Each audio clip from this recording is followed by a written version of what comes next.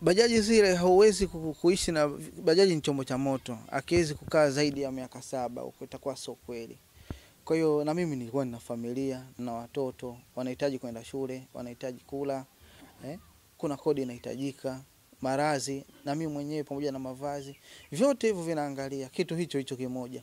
Kwa hivyo mpaka sasa mimi sina hata hiyo bajaji, kwa sababu kipindi nilichopitia ni kipindi kigumu sana, na tageti niliyoitarajia mimi na kwa furaha zote nilivyoambiwa kuna nyumba na bajaji, nikafurahi sana, kwa sababu nafikiria nyumba ndio kitu muhimu sana kwa hapa mjini, kwa sababu nyumba kodi zina inahitaji kodi na hakuna mwenye nyumba atakayekuvumilia kama hujampa kodi yake. Inahitajika upate kodi umpe mwenye nyumba, ni kitu, ni target namba moja kabisa. Lakini nyumba sasa ni kama nimezulumiwa, sina nyumba niliyoipata. Nikifika kule GSM ananiambia bwana, ahadi yote tuliyoahidi sisi tumetoa, nenda kamwone kaka yako Makonda, na sina kwa kumtafutia.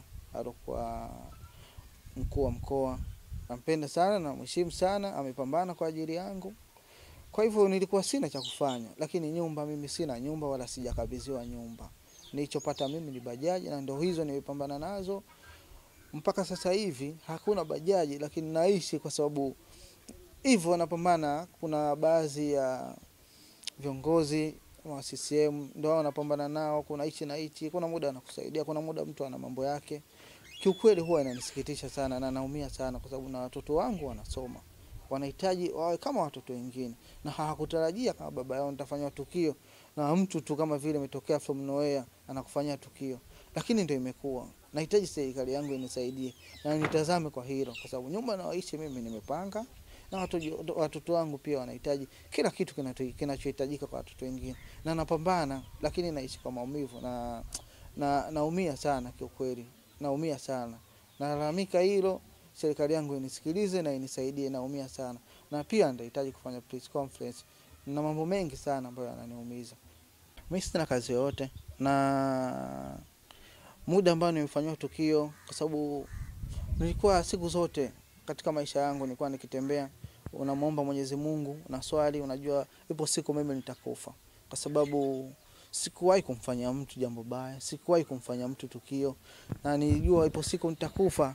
Kwa hivyo nilikuwa napambana sana na familia yangu na nilikuwa namwomba sana Mwenyezi Mungu, ila sikuwahi kujua kama ipo siku nitakuja kutolewa macho, ipo siku nitakuja kuchomwa visu. Hii imenifikia from, from nowhere, ghafla tu nafanywa tukio lile, macho sina.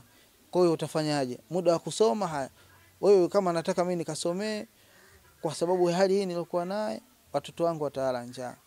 Nikihitaji kwenda mahali, na maana kama nanyanyuka hapa nyumbani, watoto wangu wasiende shule, mimi nitumie nauli e, ambayo ya ya shule niitumie nichukue mimi. Kwa hivyo naishi kwa changamoto sana, sina cha kuniingizia pesa, ila naishi kwa changamoto nyingi nyingi sana, changamoto nyingi sana zinaniumiza, na mtu alionifanyia tukio yupo bunge, wabunge nadhani hakuna mbunge asiojua. Mama, Mama Samia rais wangu alifuatilie hilo, kama alilisahau alikumbuke hilo na alifuatilie.